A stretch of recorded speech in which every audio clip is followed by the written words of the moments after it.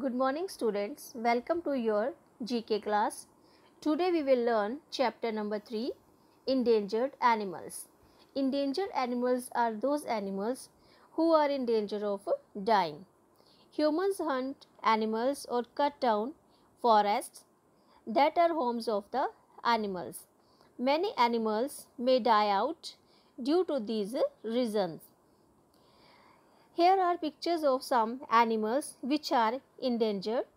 Unscramble the letters to name the endangered animals.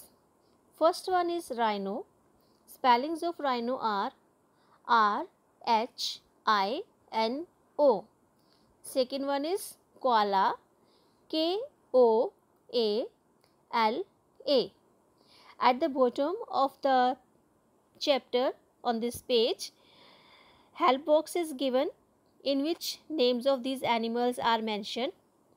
Now, did you know the red list is a list of animals that are in danger of dying means endangered.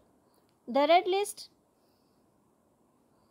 is issued by the International Union for the Conservation of Nature. Its short, short form is IUCN. Thank you.